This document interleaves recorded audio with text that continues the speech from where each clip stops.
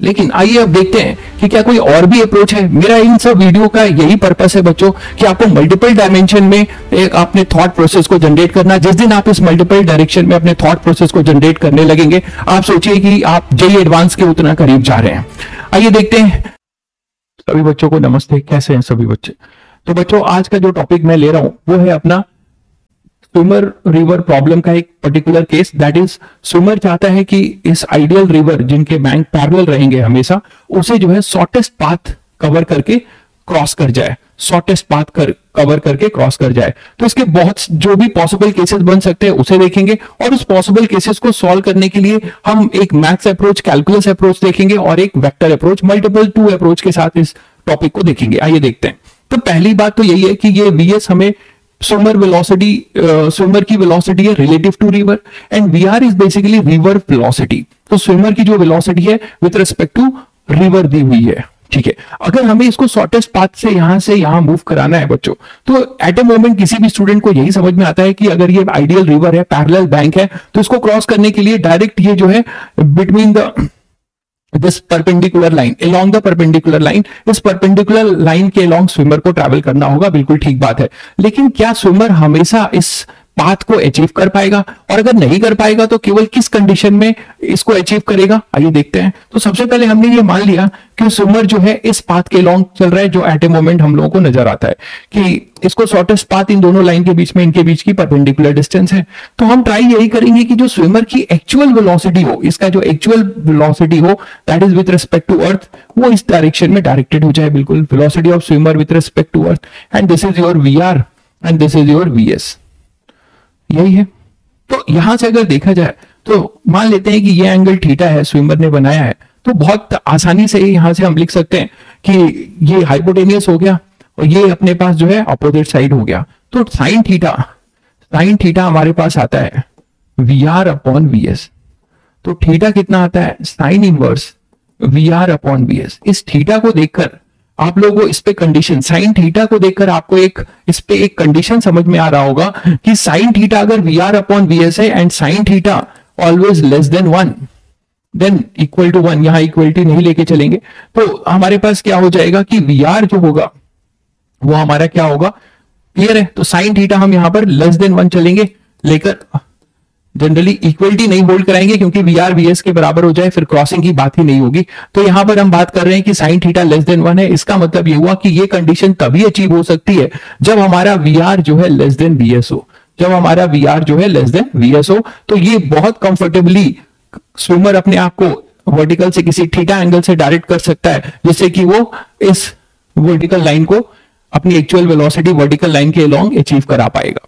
ठीक है? तो from the river flow from the river flow अगर बोला जाए बच्चों तो from the river flow it is 90 plus theta that is 90 plus sine inverse V R upon V S ये अपना हो जाएगा। बट ये केस आपको इसमें समझ में आया कि ये है जब हमारा क्या हो रहा है? वी आर वी एस जो है ग्रेटर देन वी आर है।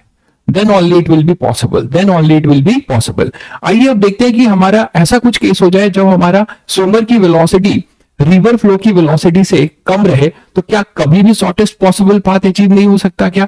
आइए देखते हैं।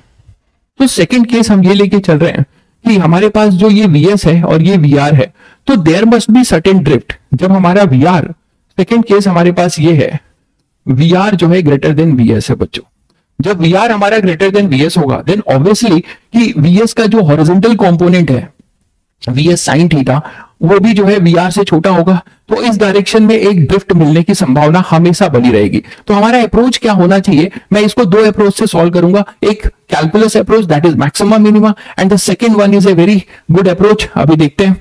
तो यहाँ पर हम सबसे पहले तो इसकी एक्चुअल वेलोसिटी निकालेंगे। Swimmer with respect to earth तो swimmer with respect to earth हम लिख सकते हैं swimmer with respect to river plus river with respect to earth इसका कंपोनेंट लेंगे बच्चों तो आपके पास आएगा minus V S sine theta I cap vector form में लिख दिया plus V S cos theta J cap और वी आर का है वी आर आई कैप तो हमारी एक्चुअल वेलोसिटी स्विमर की अर्थ के रिस्पेक्ट में ये आती है. V S sine theta I cap plus V S cos theta J cap अब आप यहाँ से देखिए कि आपको जो है, ये इसे मिनिमाइज करना है. शॉर्टेस्ट पॉसिबल पाथ की वो बात कर रहा है. तो ये पाथ मिनिमाइज तभी होगा जब ये ड्रिफ्ट मिनिमाइज होगा. क्लियर है सभी को, मान लो ये यहाँ पर हो तो ये वेक्टर केवल यहाँ पर होगा। तो ये जो भी आपके पास आपने ये वेक्टर देखा है, ये वेक्टर जो है, इस तरीके से ये बढ़ता जाएगा। जैसे जैसे ये कम होगा एक्स मिनिमाइज होगा। जैसे जैसे कम होगा एक्स मिनिमम होगा तो ये भी मिनिमाइज होगा। ये सभी को समझ में आता है। कभी भी इस पाथ को अचीव नहीं कर सकते under this condition which V R is greater than V S तो आप ड्रिफ्ट के लिए क्या करें? तो एक्स को मिनिमाइज करने के लिए सभी को समझ में आ गया कि हम एक्स क्यों मिनिमाइज कर रहे हैं शॉर्टेस्ट पाथ को कवर करने के लिए। तो एक्स पहले लिखे, वो क्या होगा?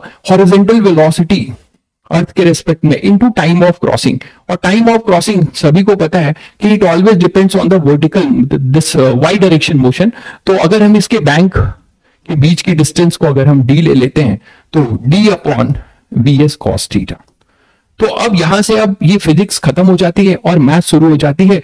For X to be minimum X to be minimum आप जो है D X by D theta D X by D theta को ज़ीरो करते हैं और वहाँ से आप क्रिटिकल वेलोसिटी निकाल लेंगे तो वो थीटा हमें मिल जाएगा जहाँ पर एक्स मिनिमम होगा और वही कंडीशन होगी हमारी शॉर्टेस्ट पाथ कवर करने के लिए under the condition when V R is greater than V S एक तो ये अप्रोच है बच्चों।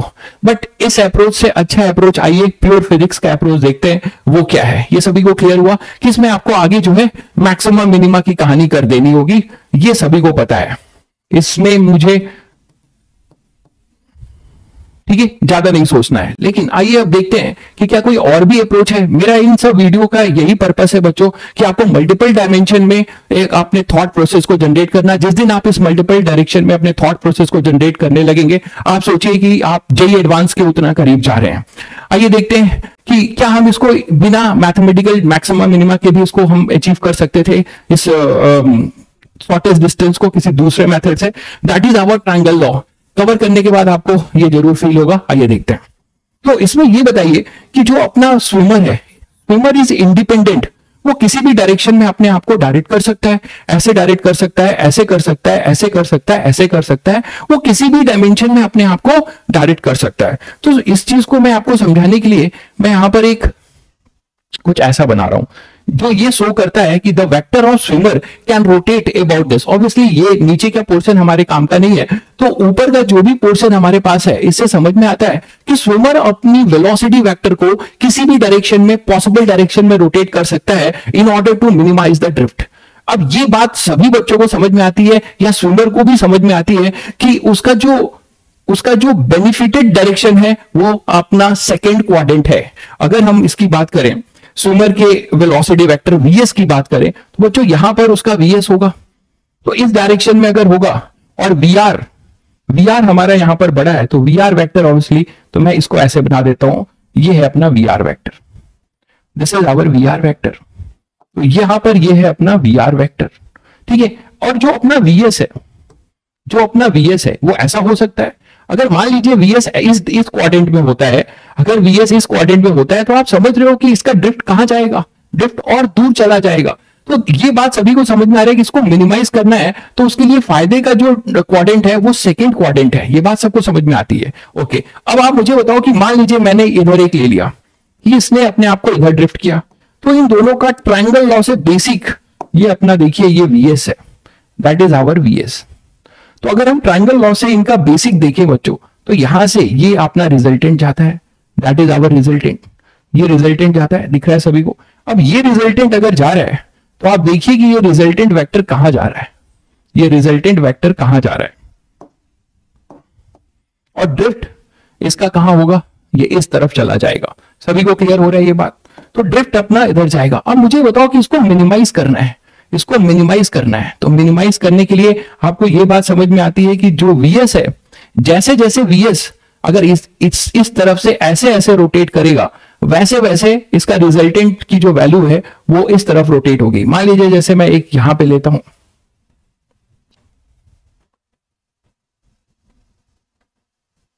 क्लियर तो अगर मैंने ये लिया तो मैंने अभी आपको बताया कि इसका जो ड्रिफ्ट जाएगा, इसका जो ड्रिफ्ट होगा, वो इधर कहीं चला जाएगा।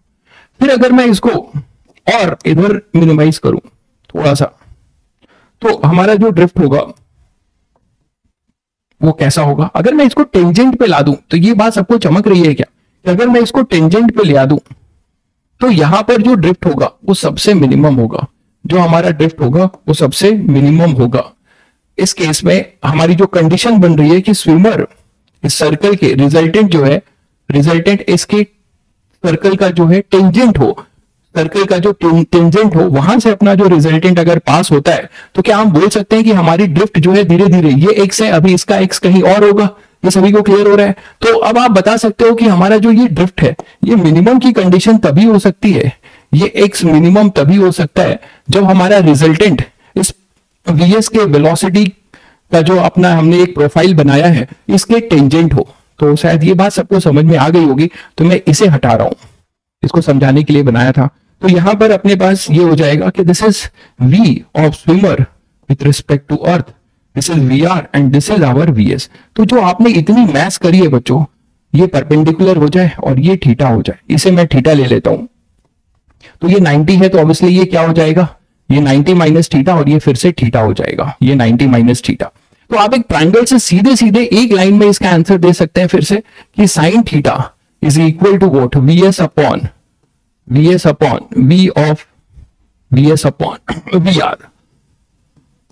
that is theta is equal to sine inverse V S upon V R and this theta is from vertical this theta is from vertical then what is from river flow velocity इसका जो angle होगा river flow velocity से कितना होगा तो river flow from river flow velocity from river flow velocity from river flow velocity angle made by swimmer for shortest possible path. और shortest possible path उसमें आप क्या करेंगे? इसमें भी लोग गलती कर देते हैं। वो ये टिक करके आ जाते हैं। अगर वो आपसे रिवर फ्लो से पूछ रहा है और आपने वर्टिकल से लिया है, ये लिया है तो ये वर्टिकल थीटा भी होगा। तो it is 90 plus theta it is 90 plus theta आपका क्वेश्चन हो जाता है सॉल्व तो आप बच्चों, ये देखिए कि मैथ्स और प्योर फिजिक्स से क्वेश्चन सॉल्व करने का एक अलग ही मज़ा है। लेकिन मैं ये नहीं कहता कि आप प्योर फिजिक्स से हर एक क्वेश्चन सॉल्व होगा मैथ्स की ज़रूरत ही नहीं पड़ेगी। आपको सारे मल्टीपल डायमेंशन में अपनी थिंकिंग प्रोसेस को जो है आगे बढ़ाना पड़ेगा फॉर जेई एडवांस चलिए बच्चों, मिलते हैं फिर नेक्स्ट वीडियो में।